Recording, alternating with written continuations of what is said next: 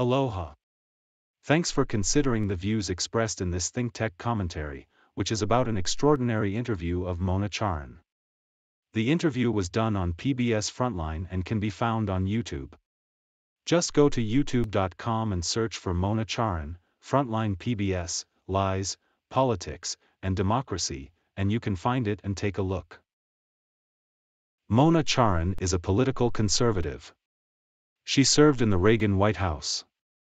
She is an outspoken, award-winning columnist, journalist, radio and TV panelist and political commentator.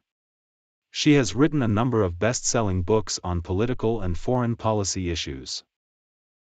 Interesting that the PBS Frontline interview tracks on things we have often discussed in our Trump Week talk show, on the rule of law in the new abnormal, it's time for responsible change, and on our American issues Take One and Take Two shows, and validates many comments made on these shows. The comments of Mona Charen resonate on many things we have raised and concluded in our Think Tech talk shows on Trump's machinations and destructive effects on the country, and should serve as a warning about allowing him to hold office again. Charen is a highly articulate, candid and well-informed commentator who cuts right to the chase and tells you in no uncertain terms what has happened as to allow Trump to become president, corrupt the government and divide the country. In this no-holds-barred interview, she connects so many dots that haven't been connected. We haven't yet figured out exactly how Trump could grow his power, and how he could unhinge so many people against their better judgment. She helps us do that. From her, we learn how Trump increasingly corrupted so many public officials, how he got so much coverage of his lies in the media, and how he damaged our relations with our long-standing allies and sucked up to brutal autocrats. Scariest of all, she covers how Trump brazenly undermined our democracy and the liberal world order, how profound the damage has been and the very likely possibility that we may not be able to repair it in the years to come. Her comments in the interview were thoughtful, well-founded and straightforward.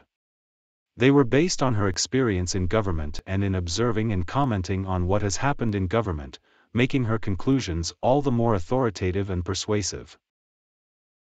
It seems clear from the discussion that the country is vulnerable and our democracy is fragile, and there are loopholes and flaws in our constitution and system of laws and protections that unprincipled people like Trump can take advantage of and use against us.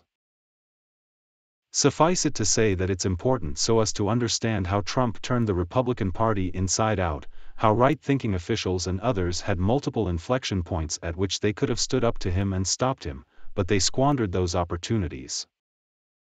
Charen, an astute political observer, identifies a number of those inflection points.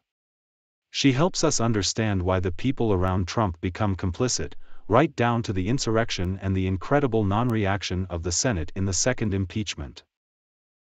She points out how Trump also frequently shot himself in the foot, and that were it not for his gaffes he might have won in 2020 and for that matter in 2024. It's actually quite terrifying to listen to her recount these possibilities. She also points out that had Trump been impeached and removed in the first impeachment, the country would have been spared from the indignities and agonies that have followed, and the threat that he or his acolytes might still be elected to high office. She makes it clear that the Republican Party, and especially Mitch McConnell, should be blamed and shamed for supporting Trump in 2016, for enabling him during his presidency, and for failing to take any action to control him when they had so many chances to do so. She points out that McConnell's view was that it was the responsibility of the Democrats to get rid of Trump, even though the Republicans could have and should have done that. She reminds us that the Republicans have never accepted responsibility for Trump or what has happened with Trump in office, even now. Beyond that, Charen says the Republican Party has blackened its name forever, and given what Trump has done, and the damage he has done to the country and the confidence of the people in government, the Republican Party should not be supported again. She says Trump and his acolytes, for their own purposes, intentionally undermined the trust of the public in our elections. She explains that if the public does not have confidence in the elections, that inevitably invites decisions by violence and thus the end of democracy. She says Trump has bequeathed to us a democracy that is damaged and wobbly, and that it will be a great challenge to restore public confidence in our democratic system. She did not mince her words on this, or anything else. In short, you really have to watch this extraordinary interview with Mona Charen for yourself. You have to hear her views of what has happened and what is likely to happen now. You may never hear it analyzed and presented so well.